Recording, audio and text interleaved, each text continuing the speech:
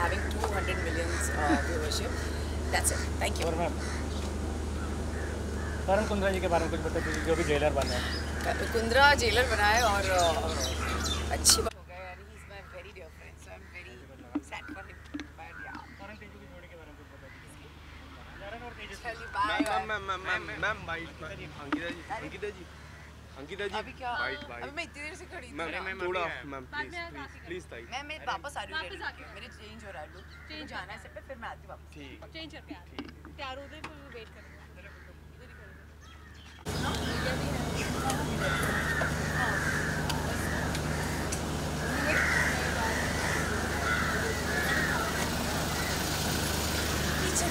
He.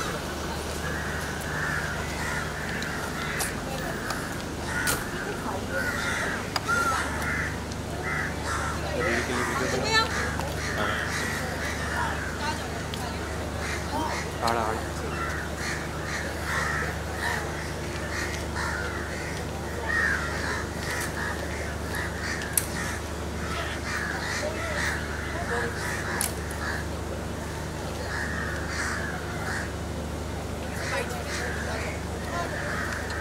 okay so on the precious day Gudi Padwa के दिन में आप लॉकअप आए हो it is a first Gudi Padwa after marriage so क्या कुछ है। आज? काफ़ी स्पेशल दिन है आपके लिए। आई थिंक हर साल स्पेशल होता है लेकिन ये साल uh, सच में बहुत स्पेशल है क्योंकि uh, मेरा पहला गुड़ी पाड़वा है विकी के साथ और uh, बस अच्छा ही लगता है कोई ओकेजन होता है कोई फ़ंक्शन होता है कुछ फेस्टिव माहौल होता है तो I always make sure that I celebrate everything and इस बार विकी के साथ है तो और अच्छा लगता है।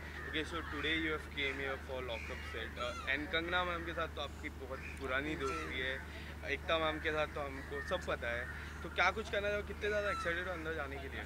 Uh, मुझे हमेशा शूटिंग पे जब भी मैं जाती हूँ मैं हमेशा एक्साइटेड रहती हूँ क्योंकि ये पार्ट ऑफ़ मी है कहीं ना कहीं ना always feel very good but of course Balaji के सेट पे वापस आना और लॉकअप के लिए शूट करना और साथ में कंगना का वहाँ होना so it's all a mixture of good things तो I am very sure Kangana की एनर्जी इतनी अच्छी है और यू नो उसमें मैं भी साथ में अगर उनका साथ दूँगी तो आई डोंट नो आज क्या होने वाला है सेट पे। आई थिंक आज सच में कुछ बैडास चीज़ें हो सकती है। So I am really looking forward for this and I am really hoping कि uh, लोगों को ये एपिसोड देख के बहुत मज़ा आए। जेल के अंदर काफ़ी ज़्यादा कंटेस्टेंट लॉकअप है। कोई ऐसा कंटेस्टेंट जो आपको फेवरेट हो? मुझे निशा बहुत अच्छी लगती है। आई थिंक वो हमेशा अपना एक स्टैंड लेती है और निशा को मैं जानती हूँ पर्सनली मुझे पायल भी बहुत अच्छी लगती है।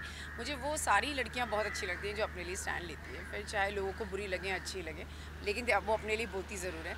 सो आई थिंक वो मुझे दोनों बहुत अच्छी लगती है। And Karanvir Bohra has been a dear friend of mind so I think Karan अब नहीं है और uh, तो uh, उनके बिना अधूरा लगता है लॉकअप लेकिन आई रियली होप कि जो भी अपने लिए अच्छे से स्टैंड ले और अपने लिए जो बोल सकते हैं वो उनको ऑडियंस उनका साथ दे। Okay so we are going to see you as a jailer और like I am going there as a आपको देखकर पता करना पड़ेगा ओके सो करण कुंद्रा भी जेलर बने। थे। क्या कुछ कहना चाहोगे? करण कुंद्रा मेरा बहुत पुराना दोस्त रहा है और यू नो you know, मैंने कभी उनको इतने स्ट्रिक्ट देखा नहीं है तो वो जिस तरीके से गुस्सा करता है good going Karan I think really he is doing a great job and वो जिस तरीके से सबको हैंडल करता है इट्स नॉट ईजी टू कैदी को इस तरीके से हैंडल करना क्योंकि सब अपने अपने तरीके से एक सेलिब्रिटी है।